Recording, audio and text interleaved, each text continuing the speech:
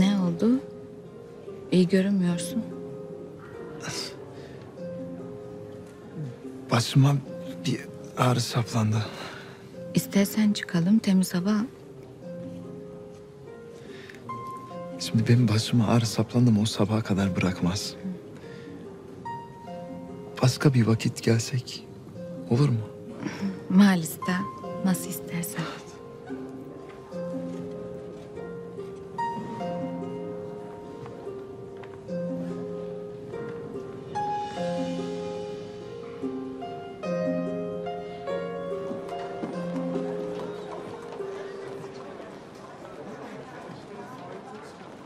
Seni eve kadar bırakmak isterdim ama işte Oy lüzum yok zaten iyi değilsin. bu güzel geceyi de berbat ettiğim için özür dilerim. Geceler bitmedi ya başka zaman buluşuruz.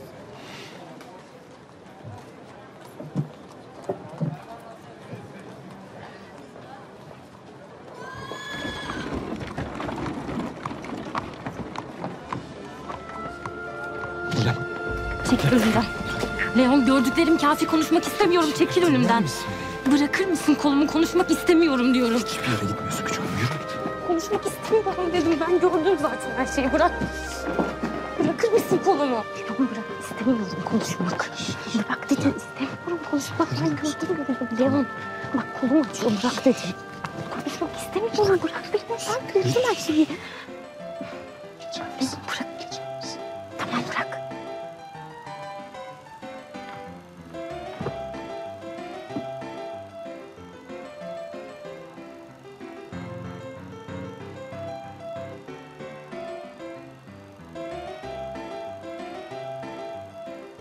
Daha evvel konuşma fırsatım olsaydı anlatacaktım.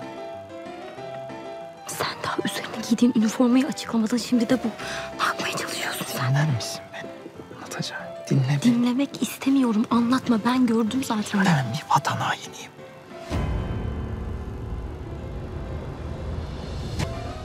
Atina'daki vaziyet de en az burası kadar buhranlı. Savaş herkesi perişan etmiş durumda. Bütün halk huzursuz, çatlak sesler yükseliyor. Yunanistan'daki Bolşevik harekette bundan istifade ederek ordu içinde faaliyete başladı. Ben de ordudaki görevime dönüp onlara katıldım. Bolşevik mi? Hani şu... Evet. Ne yapıyorsunuz tam manasıyla? Askerleri savaşa karşı örgütlüyoruz. Yani silah bırakmaya ya da orduda karşı faaliyet yapmaya çağırıyoruz.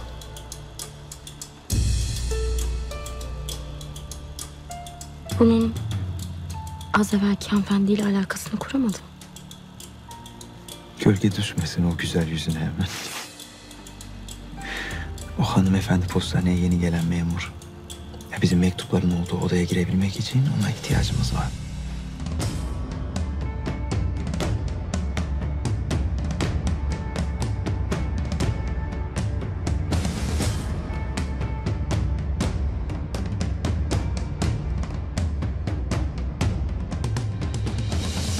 Mektupların içine savaşın gerçek yüzünü anlatan bildiriler koyup yolluyoruz. Ya hepsinden aynı neticeyi alamasak da birilerine muhakkak tesir ediyor.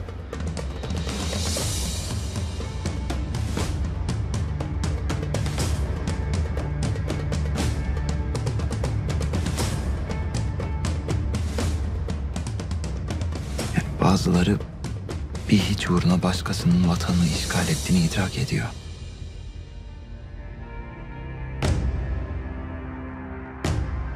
Bu savaşı siz dışarıdan, biz içeriden ebiyeli bitireceğiz Hilal. Vazifen devam edeceğine göre az evvelki hanımefendiyle münasebetin giderek artacak o vakit. E büyük vazifelerin büyük bedelleri olur. Leon. Latif ettim dur.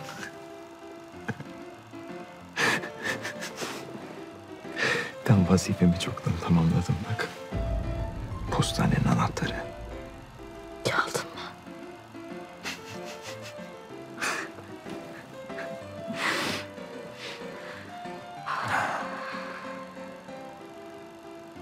Say sen neden geldin? Biz buluşacaktık sabah. Hiç. Öylesine geldim ben kalkayım artık. Gitme. Çok geç oldu. Hilal. Bir an her şeyi unutsak. Savaş yokmuş gibi. İzmir'de bir gece evimizden çıkmışız, sinemaya gelmişiz gibi filmi seyretsek.